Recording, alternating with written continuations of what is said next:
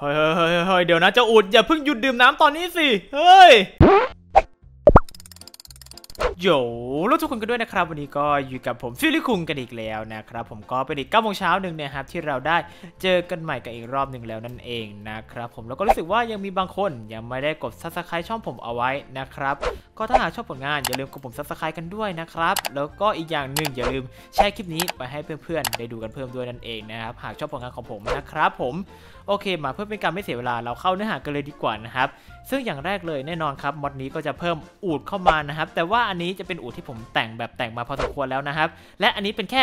1 ใน 3 ที่คุณสามารถได้นั่นเองนะครับผมถามว่า 1 ใน 3 ที่คุณสามารถได้คือยังไงคือเท่าที่ผมลองเล่นนะครับ มันจะมีอูดทั้งหมด 3 แบบนะครับ ซึ่งอย่างแรกเลยนะครับก็คืออูดแบบผมนะครับจะเป็นสีแบบน้ำตาลเข้มนิดนึงนะครับอันที่ 2 ก็จะเป็นแบบสีขาวๆนิดนึงนะครับผมแล้วก็อันนี้เนี่ยมันจะอะมันจะมีอีกอันหนึงก็คือออกแบบสีโทนส้มๆนิดนึงนะครับอันนี้จะเป็นอูดทั้งหมด 3 ตัวที่ผมลองสปอนออกมาแล้วเจอนะครับ อุปพวกนี้สามารถเจอได้ตามไบโอมทะเลทรายนั่นเองนะครับผมและ แน่นอนครับอูดตัวของมอดนี้สามารถเทมได้นะครับโดยการที่คุณเทมบนม้าเลยครับกระโดดขึ้นหลังมันไปเรื่อยๆนะครับจนกว่ามันจะรักคุณนั่นเองนะครับผมเอาเอาเอาเกิดอะไรขึ้นนะเมื่อกี้อยู่ดีเสียเลือดอ๋อน่าจะชนต้นไม้นะครับ จากที่ผมเดานะครับเอาเอาหันไปหันมาเอาตัวนี้มันยังปฏิเสธผมอยู่เลยนะครับ ซึ่งทีนี้นะครับอ่าการที่เราเทมได้นะครับ เราจะสามารถแต่งอูดได้ด้วยนั่นเองนะครับท่านผู้ชม โอเคอ่าได้พอดีเลยอะเยี่ยมครับ ซึ่งทีนี้เมื่อเราเทมได้แล้วนะครับ เรากดตัว E เราก็จะเห็นนะครับว่ามันมี 2 ช่องให้เราใส่นะครับ อย่างแรกเลยก็คือตัวของ Shadow นะครับ คุณสามารถใส่ Shadow ได้แล้วมันจะเป็น texture แบบ Shadow ของมันเองนะครับท่านผู้ชมสามารถขับได้แล้วก็สามารถกระโดดได้นะครับ แต่ว่าทีนี้ปัญหาของอูดคือมันจะเดินช้าหน่อยนะครับท่านผู้ชมอ่าแล้วก็กระโดดค่อนข้างเตี้ยด้วยนะครับถึงแม้ผมจะกระโดดแบบ full power แล้วนะครับรู้สึกว่าจะกระโดดได้สูงสุดประมาณ 1 บล็อกเท่านั้นนะครับท่านผู้ชมอ่าเดี๋ยวผมลองลองกระโดดดูนี่มัน 1 บล็อกหรือเปล่าอืม น่าจะประมาณ 1 บล็อกนะครับดูจากทรงแล้วอะบึ๊บอะเออเออใกล้1บล็อกนะครับ ใกล้เคียงนะครับท่านผู้ชมอุ้ยฝนตกอีกแล้วโอเคครับผมอะซึ่งอย่างที่2นะครับนั่นก็คือเรื่องของการแต่งอูฐนะครับเวลาเราเดินทะเลทรายเราจะเห็นตามแบบพวกหนังใช่ไหมครับเขาจะเอาผ้าเนี่ยเหมือนปูอูฐของเขานะครับ ซึ่งเราก็สามารถปูอูฐของเราได้ด้วยนะครับ อย่างอันนี้ผมลองปูด้วยผ้าสีขาวนะครับ ก็จะเป็นธีมแบบอ่าขาวแดงนิดนึงนะครับ แล้วทีเนี้ยคุณสามารถใช้ตัวของคาเพตเนี่ยสีอะไรก็ได้นะครับโปะเข้าไปแล้วมันก็จะเปลี่ยนสีของมันด้วยนั่นเองนะครับอย่างอันนี้ก็คือสีส้มนะครับผมเอาเอาเอาอุดอุดอุดอุดเอาทำไมหันหน้าแบบนั้นอะอืมเมื่อกี้อยู่ดีมันก็หันหน้าแปลกๆนะครับท่านผู้ชมอะทีนี้ผมลองเปลี่ยนเป็นสีม่วงหน่อยเฮ้ยอันนี้สวยเหมือนกันนะ สีฟ้า เอ้ย ผมว่าผมชอบอันนี้สุด แล้วก็สีเหลือง ที่จริงมันจะมีสีอื่นก็คือได้ได้ทุกสีนะครับ แต่ว่าอันนี้ผมแค่อยากยกตัวอย่างว่าเออ มันเปลี่ยนสีได้เฉยๆนะครับผม แล้วก็ทีนี้มันจะมีคุณคุณสมบัติพิเศษอีกนะครับ นั่นก็คือเรื่องของการพกหีบนะครับในนี้ผมลืมใส่หีบเนาะ อ่าใส่เชสเข้าไปนะครับ ซึ่งวิธีการใส่หีบก็ไม่ยากครับ เพียงคุณเดินเข้าไปกดคลิกขวา แล้วมันก็จะใส่หีบให้เราแล้วนั่นเองนะครับ ทีนี้เมื่อเราขึ้นแล้วกดตัว E ก็จะเห็นนะครับว่า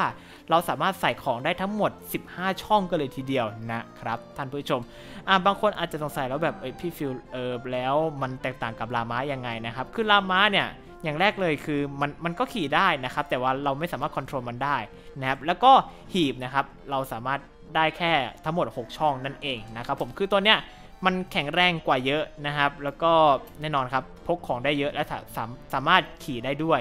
นั่นเองนะครับ ผมค่อนข้างแตกต่างจากตัวของลามาธรรมดานะครับ ทีนี้อ่าเข้าถึงช่วงคำถามที่ท่านผู้ชมบางคนอาจจะสงสัยกันแล้วนะครับ อย่างแรกเลยนะครับนั่นก็คือถามว่ามันมีอูดเด็กหรือเปล่าครับคำตอบคือมีครับผมซึ่งเดี๋ยวผมจะเสกให้ดูเลยอะนี่ครับผม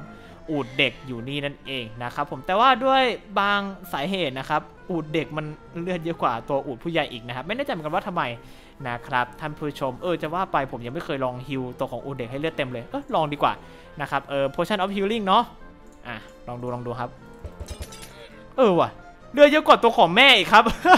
นะครับผมแล้วก็อย่างที่สอนนะครับนั่นก็คือถ้าสมมติเรามีอูด2ตัวนะครับเราจะผสมพันธุ์มันยังไงครับตอบคืออันนี้ผมก็ยังให้ไม่ได้นั่นเองนะครับในตัวของกระทูที่ทางผู้สร้างเขาเขียนเอาไว้นะครับเขาไม่ได้พูดถึงเรื่องของการผสมพันธุ์ณตอนนี้นั่นเองนะครับผมแล้วก็ผมลองโยนอาหารมั่วๆซั่วๆลองให้กับมันแล้วนะครับ ซึ่งก็ยังไม่เจอว่าต้องใช้อันไหนนั่นเองนะครับท่านผู้ชมอาจจะเป็นฟีเจอร์ในอนาคตไม่แน่ใจเหมือนกันนะครับว่าเออเขาจะเขียนเออตัวของฟังก์ชัน สร้างลูกเมื่อไหร่นั่นเองนะครับอาจจะต้องรอติดตามอีกทีในอนาคตนั่นเองนะครับผมก็สำหรับตัวของคลิปนี้นะครับ จริงๆเนื้อหาก็หมดเป็นเพียงเท่านี้แล้ว แต่ว่าทีนี้ยังยังยังไม่จบยังไม่จบมีผมมีคำถามมาให้นั่นเองนะครับ นั่นก็คือตัวของอูดนะครับมันสามารถมีหีบได้กี่ช่องนั่นเองนะครับ ถ้าท่านผู้ชมคนไหนรู้แสดงความคิดเห็นกันด้วยนั่นเองนะครับผม เอาละครับ ก็สำหรับตัวของคลิปนี้จริงๆ ก็หมดเป็นเพียงเท่านี้แล้วนั่นเองนะฮะถ้าหากใครชอบเหมือนเดิมครับ กดไลค์ กดซับกันด้วยนั่นเอง แล้วอย่าลืมแชร์ไปให้เพื่อนๆ ได้ดูกันด้วยนะครับ เผื่อเพื่อนๆ จะติดใจตามกันด้วยนะครับ แล้วเดี๋ยวเจอกันใหม่อีกทีวันพรุ่งนี้ตอน9โมงเช้านะครับผม สวัสดีครับ โอ้เฮ้ยอย่าลืมกดไลค์ กด subscribe แล้วก็กดกระดิ่งเพื่อให้กำลังใจให้ผมทำคลิปต่อด้วยนะครับ